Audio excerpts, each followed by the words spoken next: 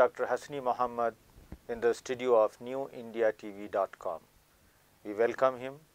Dr. Hasni Muhammad is world renowned educationist. He is propounder of integrated holistic approach of education. He says education should be potential based. Students should not be considered as one single uniform lot. Students learn based on their own potentials, their learning capacity. He practices this potential based system of learning or system of education in his education institution that is Adni International School which is in Malaysia. He is also guiding force and a patron for various educational institutions, schools, around 2000 schools spread across Malaysia and Indonesia. We would like to discuss with Dr. Hasni Muhammad about his potential based learning system. Dr. Hasni Muhammad, welcome to studio. Please brief uh, about uh, the advantages of potential based education. Alhamdulillah. Assalamualaikum warahmatullahi wabarakatuh. Uh, when we talk about uh, potential based uh, education system, which is uh, now we have been practicing it in our integrated holistic education system, Mhm. uh, it means uh, human uh, being can be developed not based on their age but based on their Okay. potential, their capability, their ability. Mhm. So uh, before we can even uh, embark on this uh, System. system, uh, we would like to uh, explain that Mm. uh, based on the conventional system and also the holistic education system, Yeah. that uh, normally uh, the conventional system referred to uh, intellectual, Hmm. emotional, Hmm. spiritual, and physical. Mm. But when we talk about holistic education, we are talking about uh, the mind, the heart, uh, the Hmm. spirit, the soul, and physical body. Then we Hmm. can uh, enhance further Hmm. from four potential to 23 type of potential. Mm. So what are those four potentials? Excuse me. Okay. Uh, if, if, if we look into the, uh, the potential of the mind, Mm. we have uh, six intellectual faculties Mhm. that need to develop and Yes. enhance. eh, The, the power of critical thinking, Yeah. uh, the power of imagination, visualization, Mm. uh, the power of memory, Mm. the power of perception, Yes. the power of uh, willpower, and Okay. intuition. Yeah, okay. So with that, uh, uh, with a proper uh, education process, we can Hmm. enhance those potential. okay. Yeah. Right, sir. So, you said uh, the conventional system considers age, Yes. whereas your system is focused on potentials. Yes. Yes. How you do this? Yes. Uh, we have uh, within the system we have uh, an activity called Mm. PADI, P A D I. Uh-huh. Uh, so number one, at any entry point, Okay. uh, the children uh, that want to study in our school or education center, we have to do profiling. So we have uh, assessment, uh, Mhm. what kind of person uh, that uh, will Mhm. uh, go into our education process Mhm. uh, what kind of uh, character, uh, Mhm. what kind of uh, competency Okay. that the, the child Mhm. uh, at any entry point will Mm. come to our school. Okay. So with that profiling, uh, Mhm. we will know and understand the achievement at that particular time. Okay. Okay. From there, we will develop. D is Mhm. the development according to their Mhm. capability, their talent, their ability, their potential. eh? Mm. and then from there uh, we want Mm. to have a team uh, not only in the school but we want uh, the parent involvement uh, Okay. at, the, at the same time when they go back Mhm. home yes. Mhm. You see, in India, yes there is a system. yes If a student has achieved 15 years of age, then only he can uh, take the examination of 10th standard yes or the examination of uh, matric. yes yes. Okay. So, you say that a child of 15 years age can appear for even 10 plus 2. Yes. Is it possible in your system and uh, is the government of Malaysia allowing that? Yes. Uh, in our system, as I mentioned earlier, Hmm. uh, it, it has to go based on their potential. Yes. So a child who start ahead, stay ahead. Mhm. So because in our system, we have uh, a continuous education process from Mhm.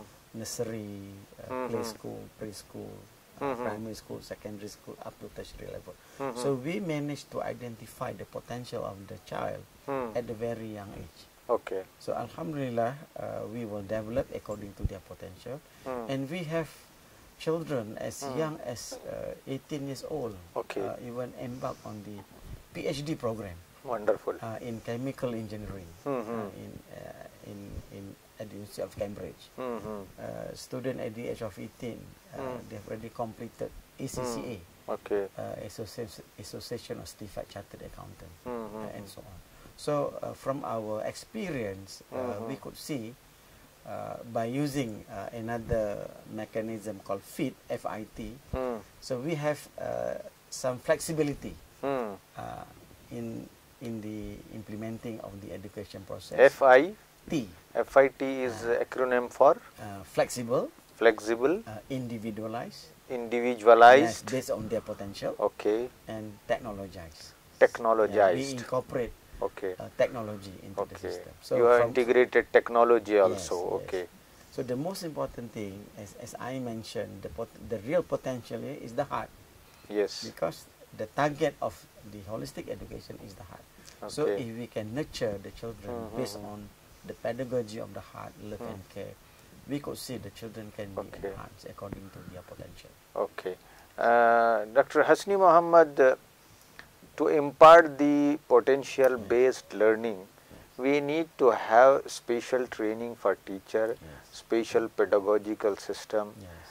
and this will not function in a classroom type situation. Yes. How you will manage this? Okay. Uh, Alhamdulillah, uh, within the holistic uh, Mm. education system, Hmm. and this system is very uh, friendly and compatible. Hmm, hmm, hmm. So it can be implemented uh, in the formal education system, which is in the Mm. class, Okay. uh, informal education, which is outside the class. So Mhm. we have activities uh, Okay. at the sports complex, you know, Mhm. at the uh, cafeteria, at Mm. the field, at the uh, agricultural uh, center. right? Hmm, hmm, hmm. And the other one, uh, if you look into into the system, so beside uh, we have that flexibility. Uh, what, Mm. is, what is important here, it can also be implemented in a non-formal education Okay. where they can do it at home.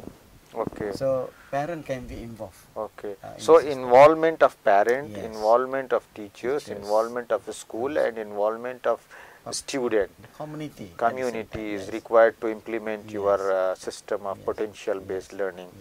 You see, if a student, uh, suppose he is in seventh standard, and if uh, he is showing the potentials that he can, uh, he is able to uh, learn the uh, syllabus or curri- curriculum of ninth standard or eighth, eighth standard. So he is promoted to eighth standard, or how you do this? Okay. Uh, Alhamdulillah, uh, when we manage to identify Hmm. uh, the potential, the ability, and the capability of that particular child, Hmm. so we will develop uh, a very strong foundation for that. Hmm, So hmm. we believe we have to develop the foundation. Hmm. It is not just for promotion, Hmm, hmm. but we will promote according to their potential. Hmm, hmm, hmm, So uh, what what I'm going to tell you here is that uh, Mhm. the most important thing, hmm. the foundation of that uh, particular Hmm. Uh, subject matter. At the same time, the Hmm. emotional and also the character building, Hmm, hmm, hmm. they must be ready before we can promote, because we need to develop a balance uh, Okay. personality. It is not just cognitive development, Yeah. but also the character building, which is very important. So we managed to Okay. have that uh, instrument to identify uh, those kind of potential. Yeah, you see, characters may differ uh, from age to age and uh, from uh, standard to standard like uh, character of uh, an, a student uh, of fifth standard could be different from the character of uh, a student who is in 10th standard. Yes, yes. These potentials are based on character or his or her academic excellence. Okay. Uh, in in the holistic education system, we uh, assess Hmm. The potential of the child not only on the subject matter on the Hmm. examination, Yes, academic academics. performance, but we measure the Mhm. character building Okay. because we believe uh, uh, common character like Hmm. system of belief. You believe Okay. how, how you define yourself, Hmm. the self-image, Hmm. uh, how you uh, look into uh, self-confidence, Mhm, uh, mhm. uh, emotionally stable. Okay. So we are looking into the readiness Okay. of that particular promotion. Okay. So we look from different angles. but what about uh, scholastic skills and academic skills? of course, Hmm. scholastic skill, uh, academic skill need to be integrated because the arts of doing thing is very Hmm. important. The Yes. arts of managing life, Yeah. the, the arts of communication, how you interact Hmm, hmm, hmm. with, with other children. And Mhm. in and in Islam is very uh, detailed. We are looking into Mhm. uh, the age of poverty Hmm, hmm. when they they Reach reach the the- level uh, of poverty at different age. So Mhm. it shows that the Mhm. capability and the ability of the child Mhm. is different from one child to the other. Okay. So we have to look in the holistic way Mhm. uh, when we want to implement the system. Is it a workable model everywhere in the world or it could be done only in Adni schools, Malaysia? Uh, Alhamdulillah, uh, I think I believe uh, Mhm. education is something uh, which is the foundation for life. And it is a universal. Universal. We have been Okay. implementing this in Malaysia, in Indonesia, Mhm, in the mhm. Middle Eastern country, and now we are embarking Mhm. uh, to be to implement the system in, in India. Okay. So Alhamdulillah, I could see, even though it is uh, the first in India, I could see Mhm. uh, from the performance of the children, uh, Mm. we managed to identify. Okay. we can Where you are trying to implement in India? Yeah, uh, Alhamdulillah, uh, uh, at the moment we have started in Bangalore. Mhm. Maybe we will go uh, according to the needs uh, of Mhm. that. Where in Bangalore? In Jayanagar, Brainy Stars. Brainy Stars. So Mhm. Brainy Stars International School, Brainy Stars Montessori. Okay. uh, uh, preschool and so on. Mhm. So uh, I think uh, I believe not only at the preschool and primary school level, Mhm. we can enhance this Okay. further to the higher education, uh, secondary school, upper Mhm. secondary, and finally to tertiary level. But in. India, we have one problem, as uh, I said you in the beginning. Uh, uh, a student of 15 years is eligible for the uh, for appearing 10th standard. Yes, yes. So this law and this binding is there in India. How you will resolve this? I think uh, based on our experience, Mhm. uh, uh, when we embark the, the five curriculum Hmm. into the system, the core curriculum, which is Hmm. based on system of belief, character building, Hmm. co-curriculum where we have uh, martial arts, Hmm. uh, karate, taekwondo, horse Mm. riding, eh, Mm. archery, and extra curriculum we have social studies.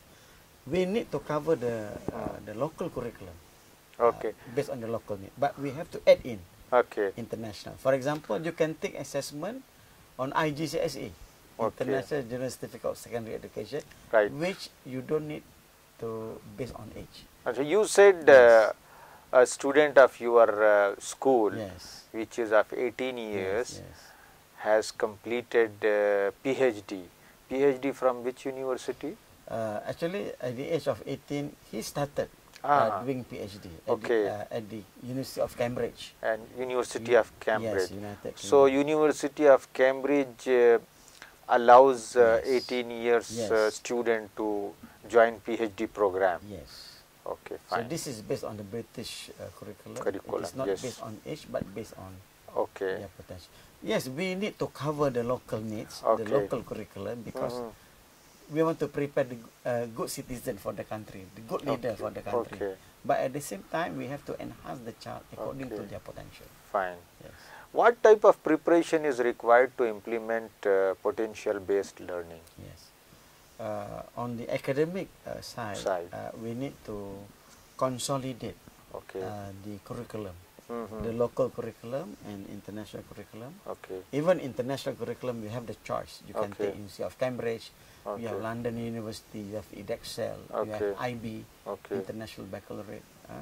So Mhm. we, we have to study Mhm. uh, the lo- local and international curriculums that we can consolidate Mhm. and integrate at the same time. Okay. So because if you look into the curriculum, uh, the curricul- local curriculum and international curriculum, for example, in India, CBSE Mhm. is almost the same like Okay. IGCSE, Right. but maybe the approach of the implementation is different. Okay. Uh, so the way I look at it, we the school must have the Mm. uh, expertise. So, Okay. But that that is not difficult. We can train uh, Right. our our team Mhm. to, to implement the system. Okay. Yes. Uh, you see, uh, this particular system requires the child-centric teaching system. Yes. Okay.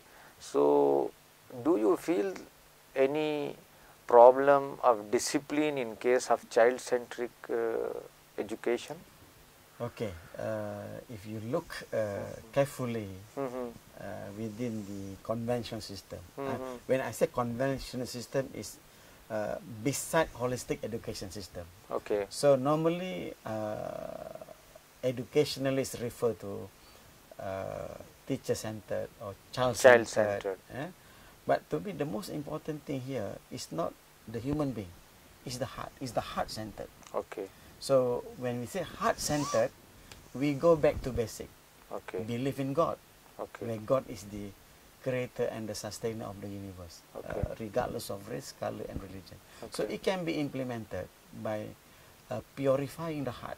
Mm-hmm. Uh, how we can uh, inculcate uh, sincerity, Okay. ikhlas. Oh yeah. Because with sincerity, I think it will give uh, a very important potential. Mm. Because if the teacher is sincere, or the murabbi, the educator is sincere, the child is sincere, I think uh, to convey uh, the message of uh, truth, Mm. to impart the knowledge Mm. from the heart to the heart will happen.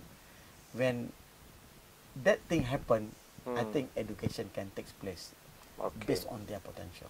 So our biggest challenge now, right now, is yes, physically you might be fit. If your heart is sick, then Mm. education process will not be uh, efficient uh, in its implementation. You have been talking about heart only. Yes. Do you think only the potential of heart is required for potential based learning or even there is a role of mind in this system? Yes. Uh, if you really understand within the holistic edu- education system, holistic education system, I always mention the focus is the mind, Mm. the heart, the soul, the spirit, and physical body. Mm. But the target is the heart. Mm. Uh, the ultimate target is heart centered. Okay. Uh, not mind centered. Mhm. Yes, there is But it is said that scholastic skills and Yes, academics skills have direct connection with mind. of course. Yes. Yes, So you need to train mind also for the potential based learning. yes. Uh, the 23 potential, including the mind. Okay. We don't neglect the mind because the mind involves thinking, Mm. uh, decision making, Mhm. problem solving, and Okay. so on. But the heart is the guiding uh, principle. Force, Yes, the- guiding the, guiding force. force. that can you know uh, uh, put everything in place. Right. And then the soul, uh, the spirit, and of course the physical body just to need to act based on uh, the pedagogy of the mind uh, and the heart and Mm. also the soul. Okay. So this is uh, a close relationship. There is communication Yeah. between the heart, the mind, and the soul. Thank you so much, uh, Dr. Hasni Muhammad. Thank you very much.